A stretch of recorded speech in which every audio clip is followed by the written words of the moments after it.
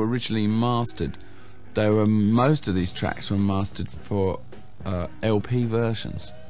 So the original versions are masters made for LPs, for analog LPs, which are totally different from what you would make if you were making CDs, which is a lot what a lot of people buy, or cassettes even. And most people buy either in, in those two things. I mean, I think this is available in some places on LP. So the the whole point of the way it was originally mastered is kind of lost. People people have these very purist ideas, and they want to hear something that was once they bought or they heard. They did a lot of searching about old tape rooms and boxes and stuff, trying to, you know, I know a lot of research went into it, and they, they found some, int- you know, the the originals, a lot of them, and it, but for me, it's interesting to hear the stuff coming back, you know, and uh, you know, well, you mixed it that way then, and now, you know, you, you, got a second chance to play with it, you know, and it's that interesting, you know. Uh, there's some good songs on there, not bad. Some of them. There's some surprises on there, like Wild Horses and things, which I think is good to mix with, you know, stuff through the years like Miss You and um, Waiting on a Friend and even up to Rock and a Hard Place. Um, it sounds quite an interesting um, theory to have all these songs put together. Obviously, the songwriting thing has changed from the beginning. Um, when we just used to write the first thing that comes into your head and so on. But uh, I think that um, this, I mean, I think that uh, both in the earlier and later songs, they all there's all different ways of writing songs. I mean, you can sit down and write a real um, uh, a song that just starts and two people are just sitting there playing it, and it's a real kind of both people contributing to lyrics and melody and arrangements and so on. Or you can just bring a song completely finished into it, which there's on this compilation. There's a lot of that. Writing songs hadn't occurred to us until uh, our first album came out, and then said, "Well, you know, we need." That was the best of your material that you play, you know, and we're going to need some new stuff. Now, either either you go out and look for songwriters and look for songs, or how much simpler, as Andrew Oldham said, if we could write our own. For a while, we wrote kind of Beatles kind of songs, and then we wrote ballads, and we found it very hard to write rock songs. Um, and it took a while to get that. We were still doing cover versions, and eventually we graduated to writing rock songs. John and Paul were, uh, because they were doing it already, they were just a few months in front of us. You know, that what a self-contained unit that would be fantastic. And he says, "Well, Mick and Keith, go and write a song." And we look at each other he's nuts. You know, is uh, that's another job. You know, I mean, I've never never thought about doing that ever. So he locked us in the kitchen, and we came out with "As Tears Go By," and in six weeks it was in the top ten with Marianne Faithfull. You know, mm, it can be done. You know, no one had ever written songs that I recall and sung them themselves. It wasn't sort of done. You picked up a song from an American hit and covered it very much like what we did at the beginning and the Beatles and everyone else. But uh, you didn't actually write the songs and then they came out and they were hits. They were always done by someone else. So, so oh, I see. Well, they, oh, I see. You write your own. And just the concept of it was original, and um, you know, used to sit down and work out how they've been, how and Keith, I always remember analysing how they were constructed. So they were deconstructed by Keith, and uh, you see how it worked. I think um, Mick and Keith's strength in their writing relationship is the most important thing about the band, apart from Charlie's drumming. Um, you can't have either of those things missing, um, Mick and Keith's songwriting partnership and Charlie's drums, and call the band the Stones. You know, you must have those things going, and that's what we still have today. And I'm very relieved that their songwriting partnership is getting stronger. I mean, I didn't have any doubts, but now I'm very happy that it's it's even stronger than it's ever been. Where songs come from, I have no idea. They just zoom through the room, you know. I mean, I, I've never sat down in my life saying, I'm now going to write a song. You know, they come to me. I just sit around and play guitar, you know, I'll, I'll sing Buddy Holly stuff or Eddie Cochran or Otis Redding, you know, and, after about half an hour, incoming, and the whole thing changes, and suddenly I have a song, you know. It's not anything to do with what I've been playing before, but there's a certain warm up period, and it's like a transmitter, you know, you, or, uh, or, an antenna, really. You just put your hand up, and you're there, and you just see what's around. I've no, I've never had a problem with creating. I don't like the idea of even thinking they're anything. I just pick them up, you know, they're there already as far as I'm concerned, and that way you get rid of that whole idea of like I've got writer's block. And Mick and Keith were helping me on I Can Feel the Fire, this one song I was doing down there.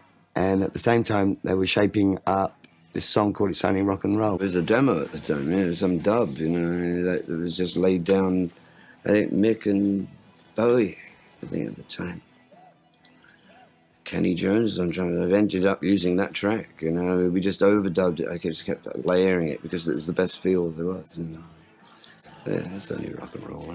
Mick Taylor had suddenly, you know, quite uh, astonished us by like just pulling out bang like that. And it was towards the, you know, the middle of the Black and Blue sessions that Ronnie, who I'd already worked with uh, on his own first solo album, and Firm Friends, but he was with the Faces, and it was like, it'd be nice to have Ronnie, but you know, that's another gig, you know, I mean, ships that pass in the night. He's Faces, we're Stones, and and suddenly, in the middle of those sessions, boom, the faces disintegrated.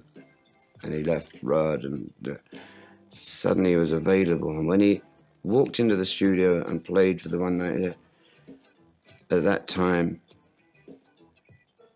it was all, everybody just looked around, it's him. I mean, he wasn't very serious. he still isn't really serious about things, which is maybe good. Or, it was like a, a good vibe um, compared to we were to you know other guitarists that we play with we were kind of serious and weren't really in the mood of the, of the whole thing. The Stones have a wonderful humorous camaraderie. You know, everyone in their own different ways. Charlie is very dry, and Mick is very elusive, and Keith is very Max Miller, and uh, I'm very Derek and Clive. You know, we have a lot of humour between us.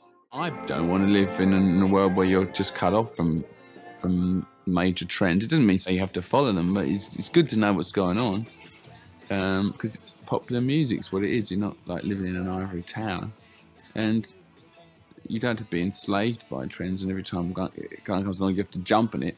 Every now and then, something might come along that's kind of interesting, and you you can sympathise with it. So think, oh, well, punk's very fast. Okay, good. I see that. You know, let's have a go at that. I don't just, I don't try and make hit records. You know, I mean, I just try and make good ones. You know, and I put it out. This is what I do.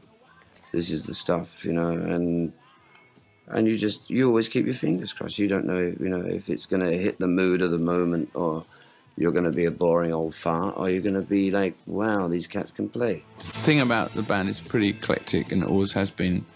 Started off really as a blues band and we used to be very pure, pure blues purists. We had a blues purist phase and a little, little, bit of Chuck Berry, that was as far as we got. And all the other rock and roll things we used to want to do sort of like shelved and so on.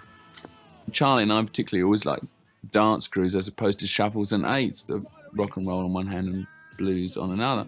It's just nice to get away from playing everything in shuffles and eights. And so I was really pleased when you when you felt that in the mainstream music you could play other grooves. Cover on I just more or less wrote it and presented it and said, well, this is how it goes. And the, the difference on that was the way it was mixed because it was just very different from the way originally did it, and I think I can't remember. I think it was Chris Kimsey that mixed it, and we made a sort of 12-inch mix of it, which eventually became the single. So we threw out the single mix because the 12-inch sounded so much better. Undercover one was was to do with South America and dictatorships, and people were disappearing very fast, and and so the video of the song was around that was around that song was was to do with it, and um, people got very hot under the collar about that. It's funny, and then you find that you would you would expect that this medium or all these brash bands would have more of a go at this area, and I'm, the Stones don't do it very often. I I freely admit, but every time we do, it's like. Whoa. Is there? Am I missing something, or is there not a lot of that going about? Ronnie and I, ancient form of weaving, we call it. There's something between Ronnie and me. Yeah, he's a very sympathetic player. Sometimes he gets carried away in the slapping, but uh, that's another story too. Most, you know, we, we yeah, he, he's very good ear for what's being played and where to come in, and, and he'll pick up where I drop out. You know, you, I, I like guitar players that can play with you, but you can't really tell who's doing what.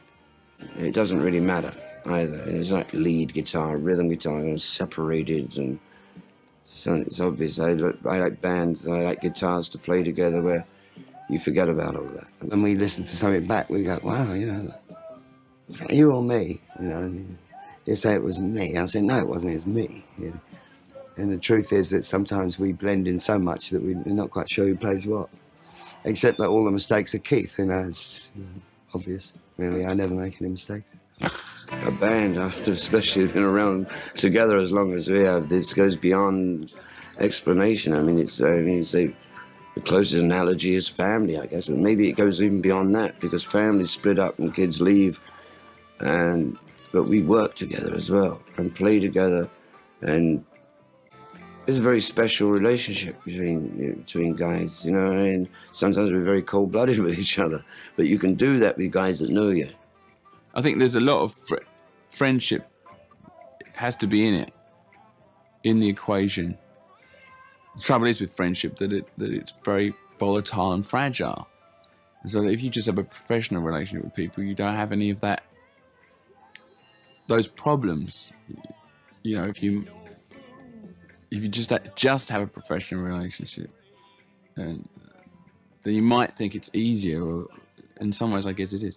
But then you, the friendship can cement a, a long, more long-running thing. So you know, Keith and I have a friendship that goes back before the band. And I have a friendship with Charlie and so on, and Ronnie.